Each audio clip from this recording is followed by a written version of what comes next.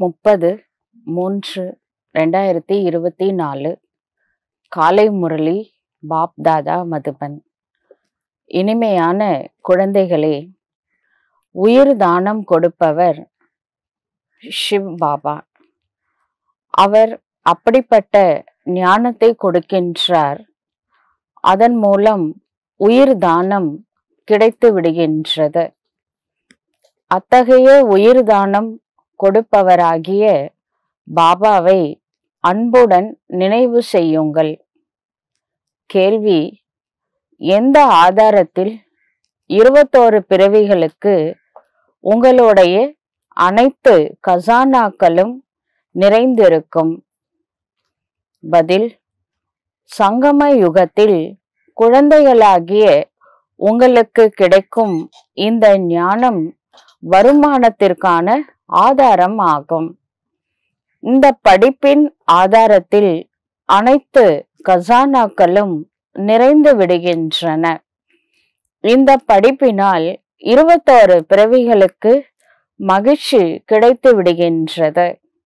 எந்த ஒரு பொருளையும் அடைய வேண்டும் என்ற ஆசை இருக்காது. பாபா ஞானத்தின் தானம் கொடுக்கின்றார். அதன் மூலம் ஆத்மா எந்த நிலையிலிருந்து எந்த நிலைக்கு மாறிவிடுகின்றது? ஓம் சாந்தி. சிவ பகவான வாக்கு. சாலிகிராம்கள் அதாவது ஆத்மாக்கள் புரிந்து கொள்கின்றார்கள். சிவ் பாபா நமக்கு கற்று தருவதற்காக வருகின்றார். அவரே சிருஷ்டியின் முதல் இடை கடையினை அறிவார் என்பதை குழந்தைகள் அறிவார்கள். குழந்தைகளுக்கு இப்பொழுது எதுவும் புதிய விஷயமாக தோன்றவில்லை. புரிந்துவிட்டார்கள் மனிதர்களோ அனைத்தையும் மறந்து விட்டார்கள். யார் கற்பித்தாரோ அவருக்கு பதில் முதல் நம்பரில் படிக்கிறவரின் பெயரை போட்டுவிட்டார்கள். நீங்கள் படித்து படித்து இவ்விஷயத்தை உறுதிப்படுத்த வேண்டும். பாரதத்தின் சாஸ்திரங்களின் விஷயம்தான் மற்ற தர்மங்களின் விஷயம் அல்ல. பாரதத்தின் சாஸ்திரங்களுடைய தவறுதான். உங்களை தவிர வேறு யாரும் இவ்விஷயங்களை உறுதிப்படுத்த முடியாது. குழந்தைகளுக்கு தெரியும் இது அனாதி டிராமா என்று. அதாவது இந்த நாடகம் ஏற்கனவே நடந்து முடிந்தது தற்பொழுது நடந்து கொண்டிருக்கின்றது இனியும் நடக்கும்.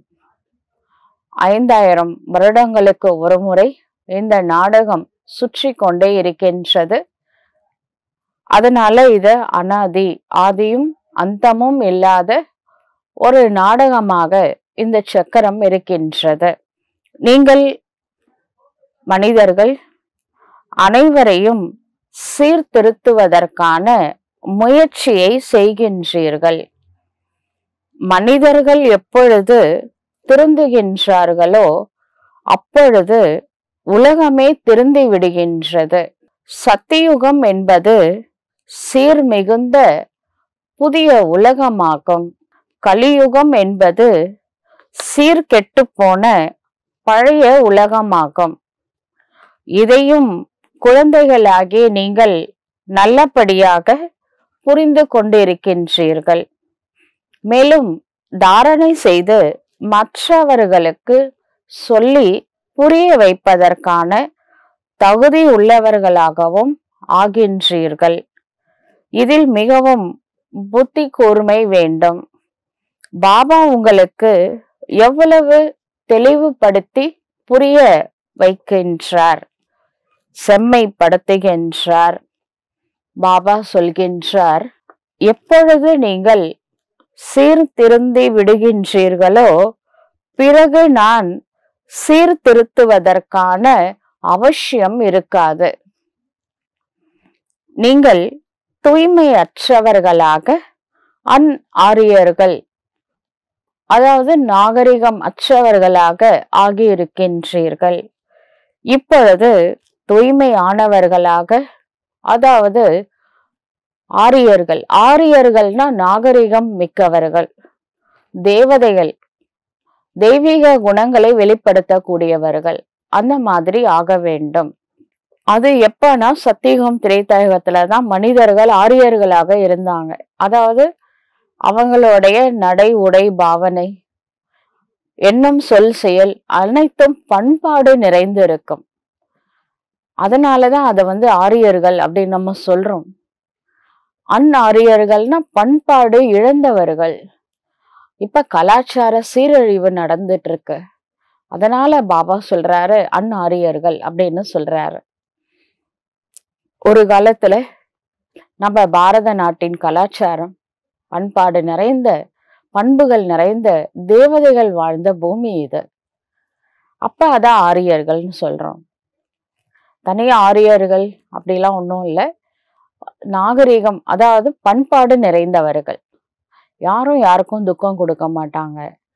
கஷ்டம் கொடுக்க மாட்டாங்க. மற்றவங்க மனசை புரிஞ்சிட்டு நடந்துப்பாங்க. ரொம்ப ஒரு நல்ல தெய்வீக குணங்களை எல்லாருமே அப்படிதான் இருப்பாங்க. அந்த சமுதாயமே அப்படிதான் இருக்கும். அவர்களுக்கு தான் நாம பூஜாலாம் பண்றோம். தேவதைகளை வழிபாடு செய்யறோம் எப்படி முன்னோர்களை வணங்குகிறாங்களே அந்த பழக்கம் பாரத நாட்டுல இருக்கு. முன்னோர்களை வழங்குறது. அது மாதிரி தான் இவங்க ரொம்ப முன்னோர்கள். ஆரம்ப காலகட்டத்தில் வாழ்ந்தவங்க. அவங்க பண்பாடு நிறைந்தவர்கள். அவங்களை நாம கோவில் கட்டி வணங்குறோம். நாம் அவர்களை ஏன் சீர் மிகுந்தவர்கள் ஆரியர்கள் என்று சொல்கின்றோம் என்பது யாருடைய புத்தியிலும் வருவது இல்லை. தேவதைகள் எப்படி இருந்தாங்க அப்படின்னா அவ்வளவு சீர் மிகுந்தவர்களாக இருந்தார்கள். அதை பத்தி யாருக்குமே தெரியாது. தேவதைகள் வாழ்ந்தாங்கன்னு கூட தெரியாது. வானத்துல இருக்கிறாங்க அப்படின்னு நினைச்சுக்கிட்டாங்க. அனைவருமே மனுஷங்க தான். தேவதைகள் கூட மனுஷங்க தான். ஆனா அவங்க தெய்வீக குணங்களோட வாழ்ந்த மனிதர்கள் இன்றைய மனிதர்கள் அசுர குணங்களோட வாழ்றாங்க. மற்றவங்களுக்கு துக்கம் கொடுக்கலன்னா தூக்கமே வரமாட்டேங்குது. அவங்க அன்ன ஆரியர்கள் எல்லாரும் சந்தோஷமா இருக்கணும். எல்லாரும் நல்லா இருக்கணும்னு நினைச்சவங்க ஆரியர்கள். அவ்வளவுதான் அவங்களும் மனுஷங்க தான். தெய்வதைகளும் மனுஷங்க தான். இப்ப இருக்கிறவங்களும் மனுஷங்க தான். குணங்கள்ல வித்தியாசம் இருக்கின்றது. யார் சீர் மிகுந்தவர்களாக இருந்தார்களோ அவர்கள்தான் அனைவருமே சீர்கெட்டு போனவர்களாக ஆகிவிட்டார்கள். அதே தேவதைகள் தான் பல பிறவி எடுத்து பேட்டரி டிஸ்சார்ஜ் ஆனதுக்கப்புறம் கைட் பண்ண ஆள் இல்லாத காரணத்தினால அன் ஆரியர்களா அவங்களே தான் மாறியிருக்காங்க.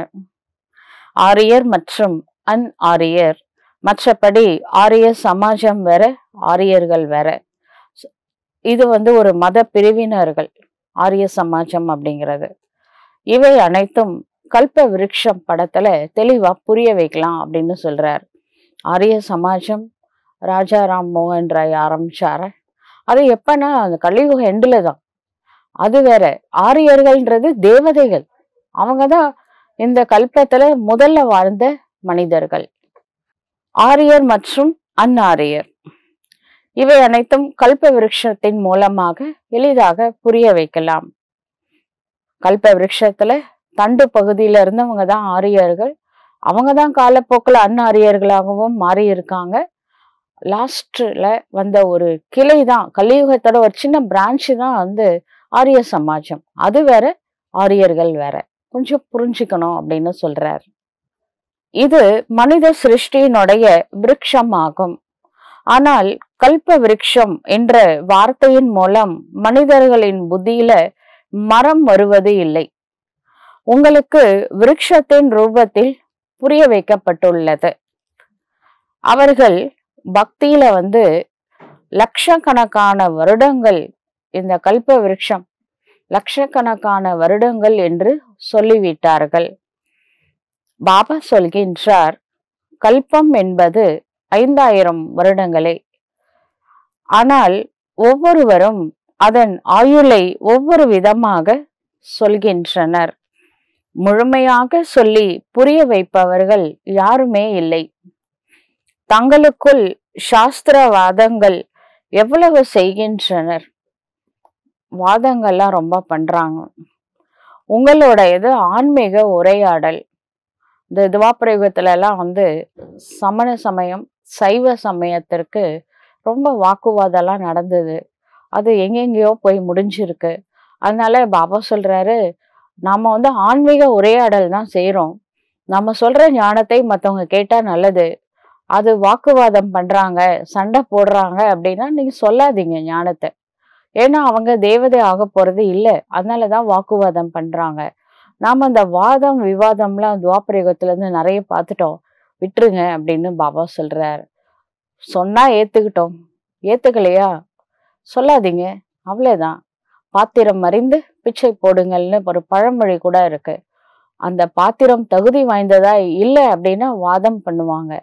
தகுதி வாய்ந்ததா இருந்தா ஏற்றுக்கொள்வார்கள். ஏற்றுக்கிட்டா சொல்லுங்க இல்லாட்டி சொல்லாதீங்க. நீங்கள் கருத்தரங்கம் நடத்துகின்றீர்கள். நிறைய கான்ஃபரன்ஸ்லாம் நடத்துகிறோம் இது ஆன்மீக உரையாடல் எனப்படுகின்றது. புரிந்து கொள்வதற்காக கேள்வி பதில் கூட நடத்துகின்றீர்கள். வாதம் வேற கேள்வி வேற. கேள்வி பதில் அப்படின்னு நாமளே நிறைய செஷன்லாம் வைப்போம். கான்ஃபரன்ஸ்லலாம் அவங்களுக்கு நிறைய டவுட் இருந்தால் அதை கேட்டு கிளியர் பண்ணிப்பாங்க.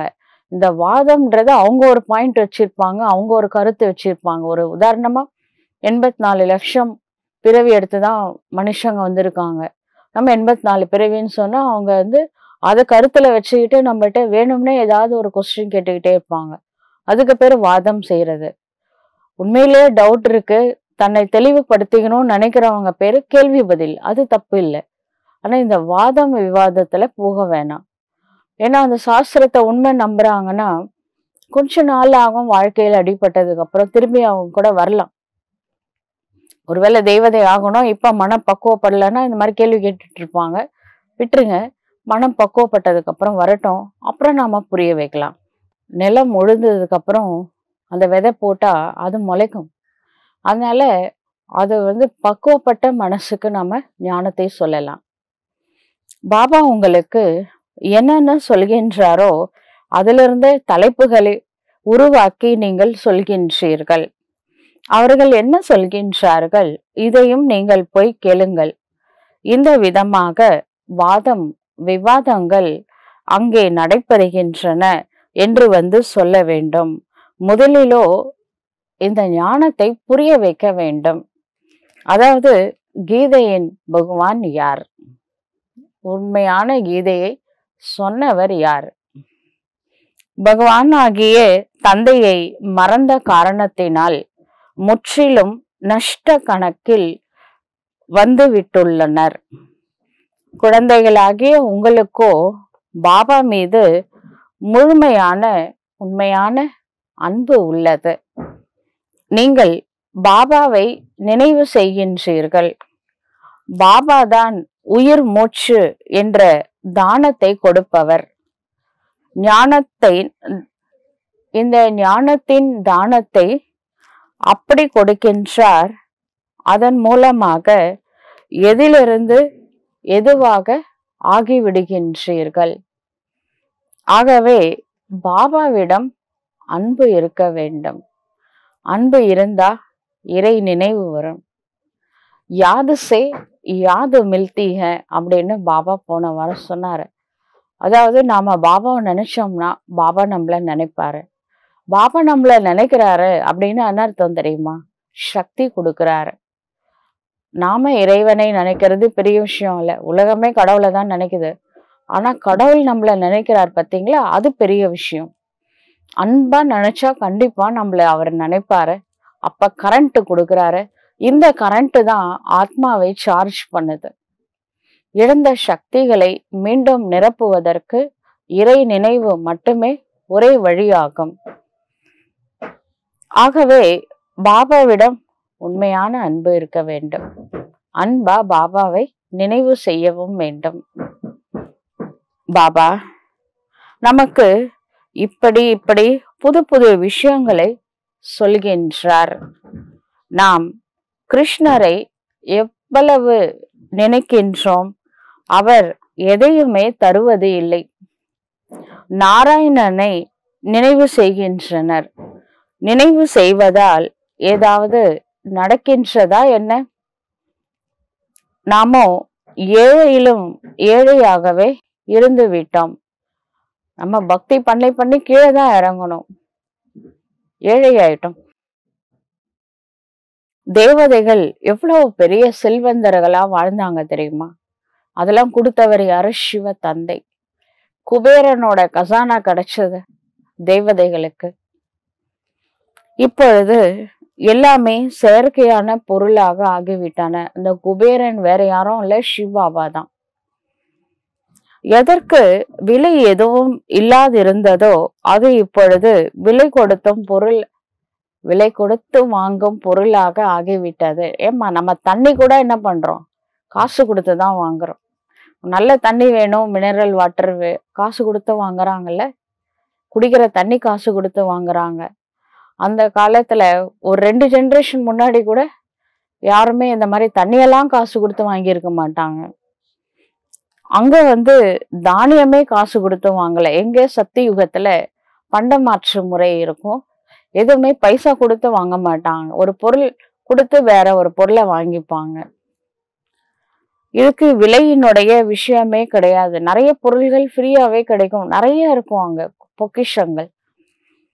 அனைவருக்குமே அவரவரது சொத்து முதலியவை இருக்கும். எல்லாருக்குமே ஓன் பில்டிங் தான். யாரும் ரெண்டட் ஹவுஸ்ல இருக்க மாட்டாங்க. எல்லாருக்கும் நில புலன்களோட தான் பிரஜைகள் அப்படி இருப்பாங்க சத்தியுகத்துல.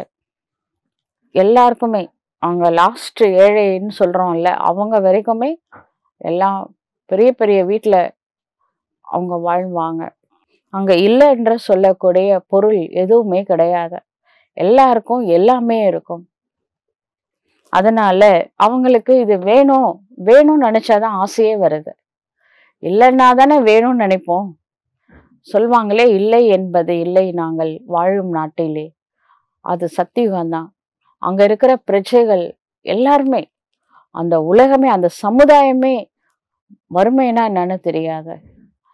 தானம் கேட்க மாட்டாங்க பிச்சை கேட்க மாட்டாங்க. அவங்க எல்லாருமே எல்லாமே நிறைஞ்சு இருக்கும். அதுதான் இறைவனால படைச்ச அந்த ஸ்வர்க்க பூமி அது. அதனால அவங்களுக்கு ஆசையே இருக்காது. இது வேணும் அப்படின்னு நினைக்கிறதுக்கு அங்கே ஒன்றுமே இருக்காது. எல்லாமே க நிறைஞ்சு இருக்கும். உடல் மனம் பொருள் உறவினர்கள் எல்லாமே சுகம் கொடுக்கக்கூடியதாக இருக்கும். அதனால அவங்க ரொம்ப சந்தோஷமா இருந்தாங்க. பாபா சொல்கின்றார் நான் உங்களுடைய கசானாவை நிரப்பி தருகின்றேன். உங்களுக்கு அத்தகையோர் ஞானத்தை கொடுக்கின்றேன். இந்த ஞானத்தை கேட்க கேட்க நம்மளுடைய சகல சௌபாகியங்களும் நிரப்பப்படும். அதன் மூலம் உங்களுடைய கசானா நிரம்பி வழிகின்றது. உங்களுடைய புத்தியில் இருப்பது ஞானமாகும். இந்த ஞானம்தான் வருமானத்திற்கு ஆதாரமாகும். ஞானம்தான் எல்லாமே. இந்த படிப்பினால நீங்கள் எவ்வளவு உயர்ந்த நிலைக்கு வருகின்றீர்கள்? படிப்பின் கசானா உள்ளது இல்லையா? இந்த ஆசிரியர்கள் கற்பிக்கின்றனர். அதன் மூலம் அற்ப கால சுகம் கிடைக்கின்றது. பாடம் படிக்கிறாங்கன்னா அதுக்கு ஒரு வேலைக்கு போறாங்க சம்பாதிக்கிறாங்க டெம்பரவரியா நல்லா இருக்காங்க. இந்த படிப்பின் மேல் மூலம் இந்த படிப்பின் மூலம் இருபத்தோரு பர்த்துக்கு நீங்க ரொம்ப நல்ல வாழ்க்கை வாழ போறீங்க. இந்த ஒரு முறை ஒரே ஒரு பிறவியில கொஞ்சம் ஹார்ட் ஒர்க் பண்ணிட்டீங்கன்னா இருபத்தோரு பிறவிகளுக்கு வைகுண்ட பதவி கிடைக்கும். சுகம் நிறைஞ்ச ஒரு சொர்க்கத்தினுடைய சொர்க்க பூமியில வாழ போறீங்க. குழந்தைகளாகிய உங்களுக்கு மிகுந்த மகிழ்ச்சி இருக்க வேண்டும். இதை புரிந்து கொள்வதில் நேரம் பிடிக்கின்றது. விரைவாக யாரும் புரிந்து கொள்வதில்லை. டெய்லி முரளி கிளாஸ் கேட்க கேட்க தான் புதுசு புதுசா ஒரு பாயிண்ட் டச் ஆகுது. ஏழே நாள் எல்லாத்தையும் புரிஞ்சுக்க முடியாது. இல்லை ஒரு வருஷம் ஆனா கூட எல்லாத்தையும் புரிஞ்சுக்க முடியாது. இடைவிடாம இறை நினைவும் இருக்கணும் கூடவே ஞானமும் கேட்கணும். அந்த உள்ளம் பண்படும் பொழுது இந்த ஞானம்ன்ற விதை வந்து நல்லாவே விருட்சமா வளரும். அதனால இந்த ஞானத்தை ஒரே நாள்ல எல்லாம் புரிஞ்சுக்க முடியாது. கொஞ்சம் டைம் எடுக்கும். இதை புரிந்து கொள்வதில் நேரம் பிடிக்கின்றது.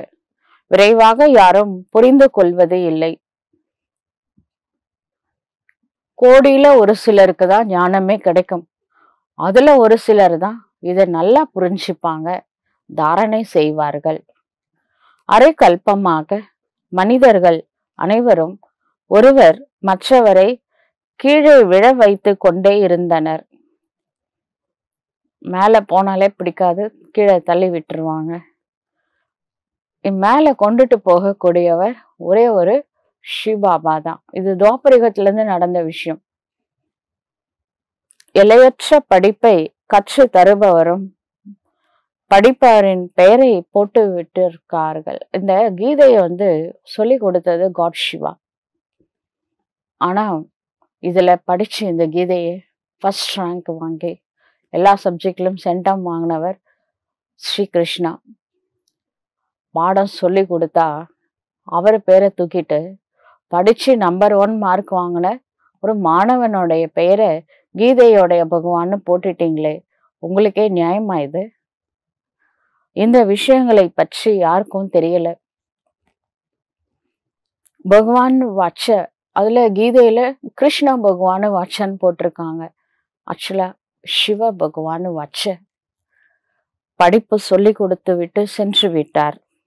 பிறகு அவருடைய சாஸ்திரம் எதுவும் சத்தியுகம் திரைத்தாயகத்துல இருக்க போறது இல்லை. துவாபரிகத்துல சாஸ்திரம் எழுதின அந்த வியாசர் இருக்காரே அவருக்கு என்ன டச் ஆனிச்சோ அதை வச்சுதான் எழுதி இருக்கிறாரு ஆனா பேரை மாத்திட்டாரே. சாஸ்திரங்கள் எவ்வளவு பெரிய விருட்சம் தெரியுமா? ஒவ்வொரு ஸ்- சாஸ்திரம் எவ்வளோ பெரிய பெரிய விருட்சம். நாலு வேதங்கள் இருக்கு. அதே சமயத்தில் நூற்றி எட்டு உபனிஷதங்கள் இருக்கு. இந்த ராமாயணம் மகாபாரதம்னு ரெண்டு முக்கியமான இதிகாசங்கள் இருக்கு. அந்த மகாபாரதத்தில் தான் இந்த கீதை ஞானமும் இருக்கு. பதினெட்டு புராணங்கள் இருக்கு. இதில் ஒன்று ஒன்று எடுத்தீங்கன்னா அது பெரிய பெரிய விருட்சமாக இருக்கு. சாஸ்திரங்கள். பக்தியின் மரக்கிளைகள் இவைகள்லாம் இல்- இல்லை என்றால் மரத்தின் பெயரும் கூட இருக்காது. ரெண்டு யுகத்தை ஓட்டுறதுக்கு அந்த சாஸ்திரம் இல்லாட்டி என்ன ஆகும் அதனால பாபா ஒரு முறையில சொல்லியிருக்காரு இந்த பக்தி பண்ற டைம்லயாவது இந்த மனுஷங்க தப்பு பண்ணாம இருப்பாங்க. அதனால இருந்துட்டு போட்டோம். அந்த ரெண்டு ஷா ரெண்டு யுகத்தை வேற வழி இல்லை. அதனால இதுவும் டிராமாவில் நிச்சயிக்கப்பட்டுள்ளது. படிப்பு சொல்லி தருபவரோ சொல்லி கொடுத்து விட்டு மறைந்து விடுகின்றார். சப் குச் கருக்கே அப்பனே ஆப் சிப்பாயா எல்லாத்தையும் பண்ணிட்டு எல்லாமே அவர் தான் பண்றாரு. சொர்க்க பூமியை கொண்டுட்டு வராரு. நரகத்தை சொர்க்கமா மாத்துறாரு. மனிதர்களை தெய்வதைகளாக மாத்துறாரு. எல்லாத்தையும் செஞ்சுட்டு தன்னைத்தானே மறைத்து கொள்கின்றார். ஃபர்ஸ்ட் ரெண்டு யுகத்துல. மறைத்தல் அப்படின்ற ஒரு தொழில் அது. அதுக்கப்புறம் நாம் கடவுளை கூப்பிட ஆரம்பிக்கிறோம். துவாபரிகத்துல தேட ஆரம்பிக்கிறோம். அப்போ அங்கேருந்தே அருளல் ரோல் ப்ளே பண்ணுறாரு துவாபரிகம் கலியுகத்தில். இப்போ பிரச்சனை முத்தி போச்சு. கடவுளே வந்தால் கூட திருத்த முடியாதுன்னு சொல்கிற அளவுக்கு இன்னைக்கு வந்து மனுஷங்க இருக்காங்க. அதனால இந்த கலியுகத்தோட இறுதி காலகட்டத்தில் சங்கம யுகத்தில் இறைவன் இந்த பூலோகத்தில் அவதாரம் எடுத்து மூணு தொழிலை செய்கிறாரு முத்தொழில் செய்கிறாரு படைத்தல் காத்தல் அழித்தல். மொத்தம் அஞ்சு தொழில். அஞ்சு இது ஃபஸ்ட்டு ரெண்டு யுகத்தில் மறைத்தல் துவாபரிகம் கலியுகத்தில் அருளை சங்கம் யுகத்தில் படைத்தல் காத்தல் அழித்தல். மொத்தம் அஞ்சு தொழில் செய்கிறாரு இதுதான் அவரோட அவரை பற்றிய அவர் என்ன வேலை செய்கிறாரு இவ்வளோ நம்மளுக்கு தெரியாமல் இருந்த சீக்ரெட்ஸ் ஒன்று ஒன்றா சொல்லித்தராரு படிப்பை சொல்லி கொடுத்துட்டு தன்னை தானே போய் மறைச்சிக்கிறாரு. சத் பரந்தாமத்தில் போய் உட்காந்துடுறாரு ரெண்டு யுகம் பூலோகத்தில் என்ன நடக்குதுன்னு அவருக்கு தெரியாது. படிப்பு அவர்கள் யார் நல்லா படித்தாங்களோ அவங்க இந்த பூமியில் வைகுண்டம் படைச்சிட்டு தானே போயிருக்காரு. அதில் பெரிய மாலிக்கா இருப்பாங்க எஜமானனா இருப்பாங்க வைகுண்டத்திற்கு. எவ்வளவு புதிய விஷயங்கள். ஒரு விஷயம் கூட யாருடைய புத்தியிலுமே பதிவது இல்லை. இவ்வளோ முக்கியமான விஷயம். இந்த ஒரு பாயிண்ட் புத்தியில் இருந்தால் கூட போதுமே. மாணவர்களாகிய நீங்களும் கூட வரிசை கிரமமாக இருக்கின்றீர்கள். சிலர் பாஸ் ஆகுறாங்க இந்த படிப்பில். காட்லி நாலேஜ் படிக்கிறாங்க சிலர் பாஸ் ஆகுறாங்க சிலர் ஃபெயிலும் ஆகுறாங்க. முப்பத்தி முக்கோடி தேவதைகளில் ரெண்டு கோடி தேவதைகள் தான் பாஸ் பண்ணாங்க. முப்பத்தோரு கோடி ஃபெயில் ஆனவங்க லிஸ்ட்ல தான் இருக்காங்க. இருந்தாலும் அவங்களும் சொர்க்கத்துக்கு வராங்க. பின்னாடி ஆஃப்ல வராங்க.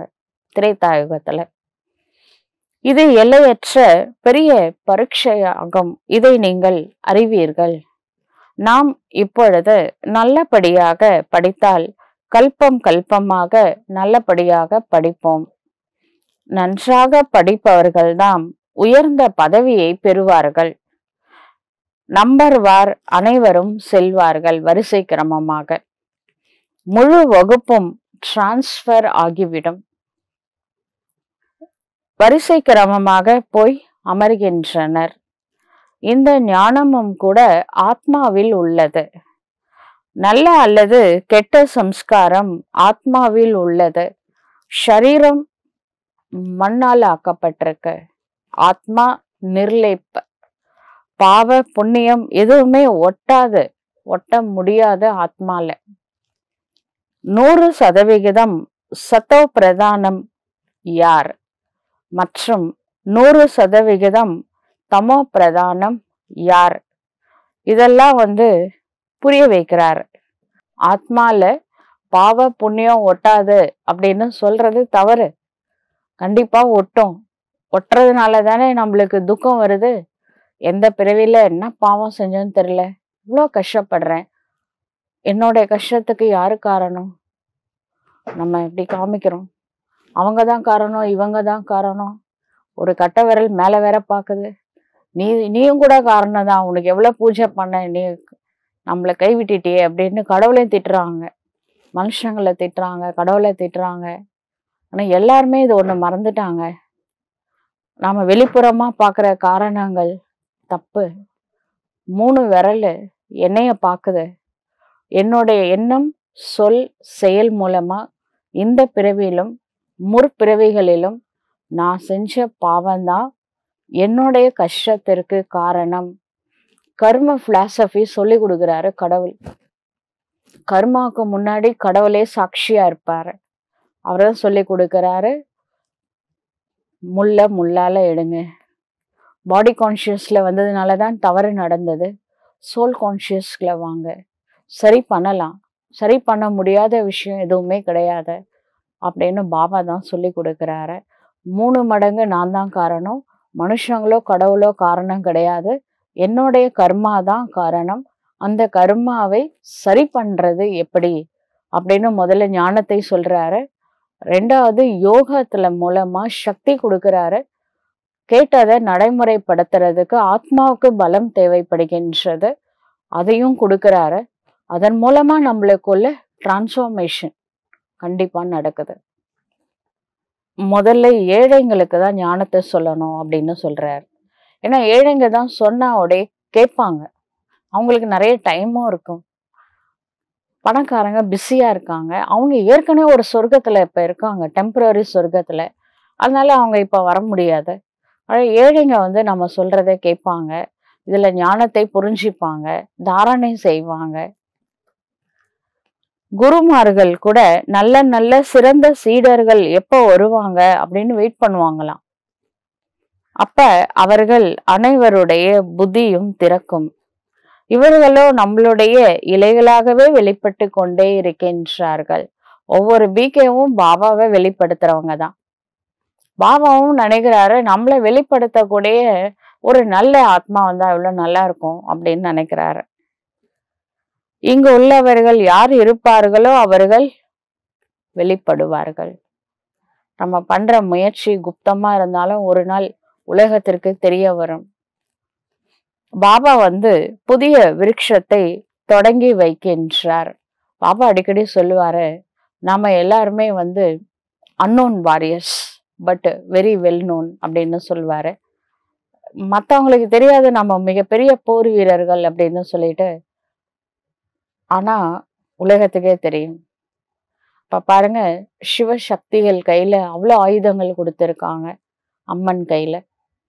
அம்மன் வந்து ஒரு போர் புரியுற மாதிரி அசுர வதம் பண்ற மாதிரிலாம் காமிச்சிருக்காங்க. அது யாருன்றது சக்ஷாத்காரம் ஃபைனலாக கிடைக்கும். அப்போ நீங்கள் யாருன்னு அவங்க புரிஞ்சுப்பாங்க. அது வரைக்கும் கொஞ்சம் குப்தமாக இருங்க. அதுதான் எல்லாருக்கும் நல்லது. அவர்கள் அனைவரும் திரும் பிகேஸ் எல்லாரும் அதாவது தேவதைகள் எல்லாரும் பிகேஸாக மாறுவாங்க. பிறகும் தங்களது பாரதத்தில் தான் வருவார்கள். ஃபாரினர்ஸ் கூட வருவாங்க. அப்படின்னு சாக்கார முரளி சொல்றாரு. இப்போ எவ்வளோ ஃபாரின் கண்ட்ரீஸ்ல பக்காவாக ஃபாலோ பண்றவங்க இருக்காங்க. இவங்கெல்லாம் ஒரிஜினல் ஃபாரினர்ஸ் கிடையாது. பாரதவாசிகள் தான் தேவதைகள் தான் லாஸ்ட் பர்த்ல அங்கே போய் பிறந்திருக்காங்க. நமது கிளையை சார்ந்தவர்கள். யாரெல்லாம் இருக்கின்றார்களோ அவர்கள் அனைவரும் வந்து விடுவார்கள். எங்க போவாங்க? ஏக்கிஹி ஹட்டி இந்த ஒரே ஒரு கடை தான் இருக்கு. வந்துதான் ஆகணும் எல்லாருமே. இன்னும் போக போக நீங்கள் அனைத்தையும் இந்த நாலேஜ் கூட நிறைய புரிஞ்சுப்பீங்க அப்படின்னு பாபா சொல்றார். இப்பொழுது வெளியிலிருந்து அனைவருக்கும் அடி கிடைத்து கொண்டே இருக்கின்றது. எங்கெங்கே வெளிநாட்டினர் இருக்கின்றார்களோ அவர்களை எல்லாம் விரட்டி கொண்டே இருக்கு. ஒரு நாட்டுல என்ன பண்றாங்கன்னா அந்த நாட்டுல இருந்து குடியுரிமை இல்லாதவங்க இருப்பாங்கன்னா அவங்கள விரட்டி அடிக்கிறாங்க. இவங்க எல்லாம் வந்து தன்வான் ஆகிவிட்டார்கள். எங்கு உள்ளவர்கள்? ஏழையாயிட்டாங்க. பாருங்க முகலாயர்கள் வந்தாங்க. பாரத நாட்டில் நிறைய கொள்ளடிச்சிட்டு போனாங்க. பிரிட்டிஷ்காரங்க வந்தாங்க. மீதி இருக்கிறதெல்லாம் சுரண்டிட்டு போனாங்க. இப்போ ஒன்றுமே இல்லாமல் தான் இருக்கு பாரத நாடு. இப்போ வந்து இங்கேருந்து எடுத்துட்டு போனவங்களாம் பணக்காரங்களாயிட்டாங்க. கொடுத்தவங்க ஏழையா உட்கார்ந்துட்டு இருக்கிறாங்க பின்னால் அனைவரும் தங்கள் மதங்களில் போக வேண்டியிருக்கும். கடைசியில அனைவரும் தங்கள் வீட்டை பார்த்து ஓடுவார்கள். வீட்டுக்கும் ரிட்டர்ன் ஜேர்னி கிளம்புதணும். எல்லாருமே போகணும். முழு உலகமே வீட்டிற்கு செல்ல வேண்டும். வெளிநாட்டுல யாராவது இறந்துட்டாங்கன்னு வச்சுக்கோங்களேன். அந்த சரீரத்தை இப்போ பாரதவாசி ஃபாரின்ல வேலை செய்யறதுக்காக போயிருக்கிறாங்க. டெம்பரவரியா ஆனா அவங்க சரீரை விட்டுட்டாங்கன்னா அந்த சரீரத்தை பாரத நாட்டுக்கு அமுச்சு வச்சிடுவாங்க. அவங்க யாரும் அனுப்பி வைக்க மாட்டாங்க. இங்க இருக்கிறவங்க ஏற்பாடு பண்ணி அங்க வந்து அந்த சரீரத்தை கொண்டுட்டு வருவாங்க. ஏனென்றால் பாரதம் வந்து முதல் தரமான பவித்திரமான பூமி. பாரதத்தில்தான் புதிய உலகம் இருந்தது. இந்த சமயத்துல இந்த பாரத நாடு நிர்விகாரி உலகம் என்று சொல்ல முடியாது. இது விகாரமான உலகமாகும். அதனால ஹே பதீத பாவனரே வாருங்கள்.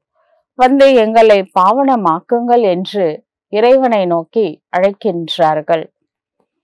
உலகம் என்னவோ இதேதான். ஆனால் இந்த சமயம் உலகத்தில் தூய்மையானவர்கள் யாருமே இல்லை. பாவன ஆத்மாக்கள் மூலவதனத்தில் இருக்கின்றார்கள். அது பிரம்ம மக தத்துவம் ஆகும். அனைவரும் பாவனமாகி அங்கே செல்வார்கள். பிறகு வரிசை கிரமமாக இங்கே நடிப்பதற்காக வருவார்கள். ஆதி சனாத்தன தேவி தேவ்தா தர்மத்தின் அஸ்திவாரமாகும் இது. பிறகு மூன்று கிளைகள் வெளியில் வருகின்றன. இதுவோ தேவி தேவ்தா தர்மமாகும். இது கிளை அல்ல முதலில் இந்த அஸ்திவாரம் பிறகு மூன்று கிளைகள் வெளிப்படுகின்றன. தேவி தேவதா தர்மம் வந்து தண்டு அது பிரான்ச் கிடையாது. இதுதான் இதுதான் முக்கியமானது. தேவதைகள் தான் இந்த கல்ப விருட்ச மரத்துக்கே தண்டு. ஆனா தண்டு காணோம். அந்த பிரான்ச்லாம் இருக்குல்ல அதுல இருந்து வந்த விழுதுகள் தான் மரத்தை தாங்கிட்டு இருக்கு. ஆதி சனாத்தன் தேவி தேவதா தர்மம்னு ஒன்று லிஸ்ட்ல இருந்தே தூக்கிட்டாங்க பாருங்க. எதுலையுமே இல்லை. எந்த நாட்டிலையுமே இப்படி ஒரு ரிலீஜியன் எந்த லிஸ்ட்லையுமே இருக்காது. ஆனால் அதுதான் அஸ்திவாரம் கல்ப விருட்சத்துக்கு. பிறகு மூன்று கிளைகள் வெளிப்படுகின்றன. முக்கியமானவை நான்கு தர்மங்களாகும். அனைத்தையும் விட நல்ல தர்மம். இந்த நாளையும் விட ரொம்ப நல்ல தர்மம் பிராமண தர்மம்.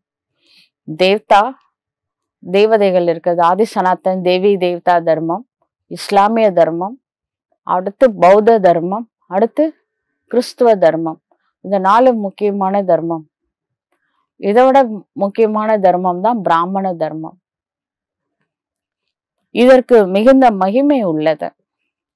இங்கே நீங்கள் வைரம் போல ஆகின்றீர்கள். பாபா உங்களுக்கு இங்கே கற்று தருகின்றார் ஆக நீங்கள் எவ்வளவு பெரியவர்கள்? தேவதைகளையும் விட மிக பெரியவர்கள் பிராமணர்கள். எப்படி தெரியுமா? கடவுளே பாலனை பண்ணிட்டு இருக்கிறாரு. காட் சிவா வந்து உங்களுக்கு பாடம் எடுத்துட்டு இருக்கிறாரு. சத்து குருவா இருந்து முக்தி ஜீவன் முக்தி கொடுக்குறாரு. அதனால இந்த தர்மம் மிக உயர்ந்த தர்மமாகும். பிராமணர்களாகி நீங்கள் ஞானம் நிறைந்தவர்கள். இது அதிசயம் தானே? தேவதைகளுக்கு தெரியாத ஞானம் உங்களுக்கு தெரியும். நாம் பெற்றுக்கொள்ளும் ஞானம் நம்முடன் கூடவே வரும். இது அழிவற்ற செல்வம். போகும்போது எடுத்துட்டு போவோம். பிறகு அங்கேயே மறந்துடுவோம் ஞாபகம் இருக்காது. பட் இந்த படிச்ச படிப்பு வேஸ்ட் ஆகாது. வைகுண்டத்துல பதவி கிடைக்கும். நீங்கள் அறிவீர்கள் முதலில் நாம் என்ன படித்திருந்தோம்? இப்பொழுது என்ன படிக்கின்றோம் என்பதை. ஐசிஎஸ் படிக்கிறாங்கல்ல அவங்க தான் நினைக்கிறாங்க நம்ம ரொம்ப பெரிய படிப்பு படிக்கிறோம். இந்தியன் சிவில் சர்வீஸ் எக்ஸாம்க்கெலாம் ப்ரிப்பரேஷன்லாம் பண்ணுறாங்க எழுதுகிறாங்க செலக்டும் ஆகுறாங்க சிலர். அதன் பிறகு என்ன படிக்கின்றார்கள்? வேறுபாடு இருக்கின்றது தானே. இன்னும் போக போக நீங்க கூட நல்ல புது புது பாயிண்ட்ஸ்லாம் சொல்லுவேன் அப்படின்றார். நிறைய தெரிஞ்சுப்பீங்க. பாபா சொல்றாரு முக்கியமான பாயிண்ட் கேளுங்க. போக போக புதிய பாயிண்ட்டுகள்லாம் நீங்க கேட்க போறீங்கன்னு சொல்லிட்டாரு. அதாவது இது சாக்கார முரளி அவ்வியக்த முரளிக்கும் சாக்கார முரளிக்கும் இவ்வளவு வித்தியாசம் இருக்கு நம்மளுக்கு தெரியும். இப்பொழுது சொல்ல மாட்டேன். இப்பயே சொல்ல மாட்டேன். அது போக போக தெரிஞ்சுப்பீங்கன்றார். நாடக பாகத்தில் பின்னால சொல்ல வேண்டிய விஷயங்களை பின்னால தான் சொல்லுவேன். இப்ப சொல்ல முடியாது. புத்தியில் உள்ளது ஞானத்தின் பாகம் எப்பொழுது முடிவடைய வேண்டும் என்று உள்ளதோ அப்பொழுது நாமும் அந்த சமயத்தில் பாபாவின் ஞானத்தை தாரணை செய்து விடுவோம். ஞானமே நிக்க போகுது. அதோ ஒரு நாள் வந்து தானே ஆகணும். அதுக்குள்ள நம்ம தாரணா மூர்த்தியா மாறி இருக்கணும். பிறகு நமது பாகம் சத்தியுகத்தில் ஆரம்பமாகிவிடும். அவருடைய பாகம் அதோட முடிஞ்சிடும். இந்த மூணு தொழில் பண்றாருல இதோட வைண்டப்ப மேல போய் சிவனேன்னு ரெண்டு யுகம் சைலண்டா ஆயிடுவார் சிவபாபா முக்தி அடைஞ்ச நிலையில இருப்பாரு. புதியில மிக நன்றாக இவை அனைத்தும் தாரணை ஆக வேண்டும். சிந்தனை செய்து கொண்டே இருங்கள். ஏதோ ஒன்று நினைக்க போறீங்க. மனசோட வேலை நினைக்கிறது. ஞானத்தை நினைக்கலன்னா வெஸ்ட் நினைப்பீங்க. தயிரை கடைஞ்சா வெண்ணெய் கிடைக்கும். தண்ணியை கடைஞ்சா என்ன கிடைக்கும்? அதனால ஞானத்தை நினைச்சுக்கிட்டே இருங்க. பாபாவை நினைங்க ஞானத்தை நினைங்க ஆத்மாவுக்கு சக்தி கிடைக்கும். நினைவு இல்லை என்றால் குறைந்த பதவி பெறுவீர்கள். பாபாவை நினைவு செய்து பாபா பாபான்னு நினைக்கும் போது அவருக்கு உடம்பே கிடையாது. பூவோட சார்ந்த நாரும் மனம் வீசும். அதனால நாம கூட வந்து அந்த சரீர உணர்வு நீங்கிவிடும். பாடி கான்ஷியஸ் போயிடும். நாமளும் சொல் கான்சியஸ்க்கு வந்துடுவோம் சன்னியாசிகளும் இந்த நிலையை அபியாசம் செய்து செய்துதான் சரீரத்தை விட்டு விடுகின்றனர். ஆனால் அவர்களது வழி தனிப்பட்டது. அவங்க ஃபேமிலியில இருக்க மாட்டாங்க சாமியாருங்க. ஆனா சிவபாபா ஃபேமிலி சிஸ்டத்தை ஸ்தாபனை பண்றதுக்காக தான் வந்திருக்கிறாரு. ஏன்னா தேவதைகள் ஃபேமிலியில தான் இருப்பாங்க. அதனால அவர்கள் பிறகு பிறவி எடுக்க வேண்டியதாக உள்ளது. சீடர்கள் நினைக்கின்றார்கள் அவங்க போயிட்டு பிரம்மத்துல ஐக்கியமாயிட்டாங்க. இல்ல முக்கியமான விஷயம் என்னன்னா அன்ன தோஷத்துக்கு உட்படுறாங்க சாமியாருங்க. பிக்ஷை எடுத்து தான் சாப்பிடணுன்றது நியமம். பிக்ஷை எடுத்து சாப்பிட்டா யார் கையில பிக்ஷை எடுத்து சாப்பிட போறாங்க? ஃபேமிலி மெம்பர்ஸ் கையில் சாப்பிட போகிறாங்க அப்போ அன்ன தோஷம் வருமா வராதா? அடுத்த பிறவி எடுக்கணுமா வேணாமா? எடுக்கணும். காரணம் இவங்களோட நியமமே அவங்கள மாட்டி விடுது அடுத்த பிறவிக்கு. அப்புறம் எங்க பிரம்ம தத்துவத்துல போய் ஐக்கியமாகிறது? அவங்க சொல்றாங்க அப்படிதான். சாமியார் செத்துட்டார் சரீரம் விட்டுட்டாரு அப்படின்னா பிரம்ம தத்துவத்துல ஐக்கியமாயிட்டாரு. மீண்டும் வர முடியாது அப்படின்னு நினைக்கிறாங்க. பாபா எல்லாத்தையும் சொல்லி புரிய வைக்கிறாரு. இது வரைக்கும் ஒரு சோல் கூட ரிட்டர்ன் வரவே இல்லைங்க. ஒன் வே டிராஃபிக் தான். இந்த ஃபைவ் தௌசண்ட் இயர்ஸ்க்கு ஒரே டிராஃபிக் மேலேருந்து வந்துகிட்டே இருப்போம். கீழே இருந்து யாருமே மேலே வரல. அதுக்கு தான் மகாகாலேஸ்வர் வந்திருக்கிறாருல கூண்டோட உத்தர் கைலாஷ் கூட்டிட்டு போறதுக்காக. அது வரைக்கும் யாரும் மேலே வரல. யாரும் திரும்பி போக முடியாது. வந்தவங்க எல்லாம் இந்த டிராமா சக்கரத்துல மாட்டினவங்க தான். பாவ புண்ணியம் செய்யாம யாருமே இல்லை. பாவம் செஞ்சா கஷ்டப்படணும் புண்ணியம் செஞ்சா சந்தோஷமா இருக்கணும். சைக்கிள்ல மாட்டிட்டாங்க. வெளில வர்றது கொஞ்சம் கஷ்டம். அதுக்கு தான் கடவுள் வந்திருக்கிறாரு. இந்த பாவ தலைகளிலிருந்து நம்மை விடுபட வைக்கக்கூடிய சக்தி ஈஸ்வரனுக்கு மட்டும்தான் இருக்கு. கடைசியில நடிகர்கள் அனைவரும் மேடைக்கு வருவார்கள். எல்லாரும் லாஸ்ட் ஸ்டேஜில் மேலேருந்து எல்லா பூமிக்கு வந்துருவாங்க. அப்புறம் வீட்டுக்கு கிளம்ப வேண்டித்தான் அந்த நாடகத்தில் கூட எல்லாரும் ஸ்டேஜில் வந்து நிற்பாங்க அந்த நாடகத்தில் நடித்தவங்களாம் அப்புறம் வேஷத்தை கலைச்சிட்டு வீட்டுக்கு போவாங்க. எல்லைக்குட்பட்ட அழியக்கூடிய நாடகத்திலையும் அப்படிதான் பண்ணுறாங்க இந்த நாடகத்திலையும் அப்படிதான். நீங்கள் நல்லபடியாக இந்த ஞானத்தை புரிய வைக்க முடியும். இந்த நாடகம் சக்கரம் போல சுழன்று கொண்டே இருக்கின்றது. அவர்களோ பிறகு சின்ன சின்ன நாடகங்களை தயாரிக்கின்றார்கள். பொய்யான படங்களை எடுக்கின்றார்கள். அவற்றில் கொஞ்சம் நல்ல விஷயங்கள் கூட உள்ளன. எப்படி விஷ்ணு அவதாரத்தை காட்டுறாங்க? அதுபோல மேலிருந்து யாரோ இறங்கி விட்டார் என்பது கிடையாது. விஷ்ணு மேலேருந்து அப்படியே பூமிக்கு வந்து ஒரு தச அவதாரம் பத்து அவதாரம் எடுக்கிறாருன்னு சொல்லியிருக்காங்க. லக்ஷ்மி நாராயணனுடைய பாகத்தை நடிப்பதற்காக வருகின்றார். வந்தவர் இங்கே தங்கிட்டாரு. யார் மேலே போனாங்க? மற்றபடி மேலிருந்து யாரும் வருவது இல்லை. இப்பொழுது குழந்தைகளாகி உங்களுக்கு ஷிவாபா இந்த அருமையான ஞானத்தை கற்று தருகின்றார். அதனால இந்த விஷயங்கள் அனைத்துமே நீங்கள் புரிந்து கொள்ள முடிகின்றது. முதலில் நீங்களும் தாழ்ந்த புத்தி உடையவர்களா தான் இருந்தீங்க. ஒண்ணுமே தெரியாத. ஜீரோவா இருந்தீங்க. இப்ப பாபா ஹீரோவா மாத்தி இருக்கிறாரு அதனால எல்லா புகழும் இறைவனுக்கே. பாபா சொல்லி புரிய வைக்கிறாரு அப்பதான் உங்க புத்தியே ஓப்பனே ஆச்சு. அது வரைக்கும் லாக் ஆயிருந்த புத்தி சிவன் சொன்ன இந்த மகா வாக்கியங்களை கேட்க கேட்க ஓப்பன் ஆகுது. மூன்றாவது கண்ணு திறக்குது. எவ்வளவு காலமா என்னென்ன கேட்டீங்களோ அது எல்லாமே எதுக்கும் பிரயோஜனம் இல்லை. இந்த பக்தியில கேட்ட விஷயங்கள்லாம். மேலும் நீங்க கீழே இறங்கிதான் வந்திருக்கிறீங்க பக்தி செய்து செய்து. அதனால நீங்கள் அனைவரிடமும் எழுதி வாங்குகின்றீர்கள். எழுதி கொடுக்கும் பொழுதுதான் புரிந்து கொள்ளலாம். ஏதோ கொஞ்சம் அவர்களுடைய புத்தியில பதிந்திருக்கின்றது என்று. வெளியிலிருந்து வருகின்றார்கள். ஃபார்ம்லாம் கொடுக்குறோம் ஃபில்அப் பண்ணி கொடுக்குறாங்க. அப்போ புரிஞ்சுக்கலாம் அவங்க இந்த தேவ குலத்தை சார்ந்தவர்களா அப்படின்றது அதுல இருந்து தெரிஞ்சுக்கலாம். முக்கியமான விஷயம் வந்து பாபாவை அறிந்து கொள்ள வேண்டியதுதான். கல்ப கல்பமாக சிவ தந்தை நமக்கு கற்பிக்கின்றார் என புரிந்து கொள்ள வேண்டும். இதை கேட்க வேண்டும். எப்பொழுதிலிருந்து பவித்திரமாகி இருக்கின்றீர்கள் அப்படின்ற விஷயத்த கேட்கணும். தூய்மையா எப்பத்துல இருந்து இருக்கிறீங்க?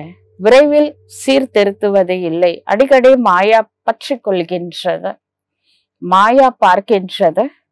பக்குவம் அடையாதவர்கள் என்றால் விழுந்து விடுகின்றார்கள். அநேக மகாரதிகளை கூட மாயா விழுங்கி விட்டுள்ளது.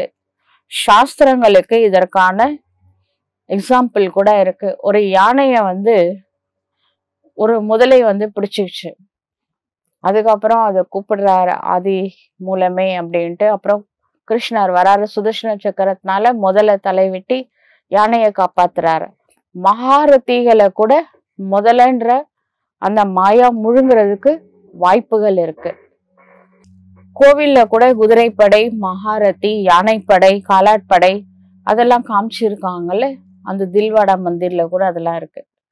நீங்கள் இப்பொழுது உங்களுடைய நினைவு சின்னங்களை பார்க்கின்றீர்கள். எப்பொழுது ஆகி விடுவீர்களோ அப்பொழுது பக்தி போய்விடும். நீங்கள் யாருக்கும் தலை வணங்க கூடாது. வணங்கா முடியாக்குறார் பாருங்க. இப்ப சாதாரணமா பக்தியில சாஷ்டாங்க நமஸ்காரம் பண்ணுவாங்க. நம்மளுக்கு பாபா சொல்லிட்டாரு நீங்க எங்க போய் இப்ப நமஸ்காரம் பண்ண போறீங்க? கீழே விழுந்து விழுந்து நெத்தி தேஞ்சு போயிருக்கு. போதும். விழுந்ததெல்லாம். எழுந்து நில்லுங்க. குழந்தைங்க யாராவது அப்பா அம்மா காலில் விழுவாங்களா? லௌகீகத்துல அதுதான் மரியாதைன்னு நினைக்கிறாங்க. ஆனா வந்து கடைசியில அவங்கள கொண்டு போய் முதியோர் இல்லத்துல விடுறாங்க. இதுக்கு பேர் மரியாதை இல்லைங்க. நீங்க காலில் விழலைன்னா பரவாயில்ல. கடைசி வரைக்கும் பேரண்ட்ஸை வச்சு பார்த்துக்கிறது தான் மரியாதை. அவங்க எப்படிப்பட்ட சூழ்நிலையில இருந்தாலும் சரி. அதுதான் உண்மையான அன்பு உண்மையான மரியாதை. இந்த வெளியே ஆக்ஷன்லாம் பண்ணணும்னு அவசியமே இல்லை. அது மாதிரி தான் இங்கே கூட ஸ்ரீ பாபா சொல்கிறார் பாபா சொல்கிறது பாபா காலில் விழணும் அப்படின்னு அவசியம் இல்லை. ஆனால் பாபா சொல்கிற ஞானத்தை நடைமுறைப்படுத்துறது தான் நாம் பாபாவுக்கு கொடுக்குற ரெஸ்பெக்ட் இப்போ பாபா சொல்கிறாரு நீங்கள் யாரு காலில் விழணும்னு அவசியம் கிடையாது. இந்த தேவதைகள் எங்கே போயிட்டாங்க? இவர்களுடைய வாழ்க்கை வரலாற்றை சொல்லுங்கள். பாபா குழந்தைகளாகிய உங்களை ஞானம் நிறைந்தவர்களாக ஆக்கியுள்ளார். அதனால நீங்கள் கேட்கின்றீர்கள் ஆகவே நஷா இருக்க வேண்டும்.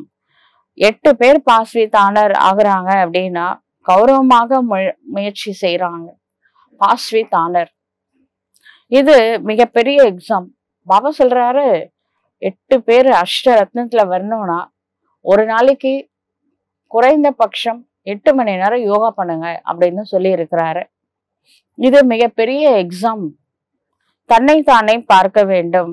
ஆத்மாவாகிய நான் பவித்திரமாகி இருக்கின்றேனா? என்னுடைய பேட்டரி நிரம்பும் பொழுதுதான் யோகா பண்ண பண்ண பேட்டரி சார்ஜ் ஆகும். பாபாவிடம் யோகா சரியாக இருந்தால் சத்தோ பிரதானமாக ஆவீர்கள். தமோ பிரதானமான ஆத்மாவால் திரும்பி செல்ல முடியாது. இதுவும் ஒரு நாடகமாகும். இங்கே துக்கம் கொடுக்கக்கூடிய எந்த ஒரு பொருளும் சத்தியுகத்துல இருக்காது. பசுக்கள் கூட என்ன அழகு அழகா இருப்பாங்க. கிருஷ்ணர் கூடவே பசுக்களை எவ்வளவு அழகா காமிக்கிறாங்க. பெரிய பெரிய மனிதர்களுடைய ஃபர்னிச்சர் கூட அழகா இருக்கும். பசுக்கள் நல்ல பாலை கொடுக்கின்றன. அதனாலதான் பாலாறு ஓடும் சத்தியுகத்துல.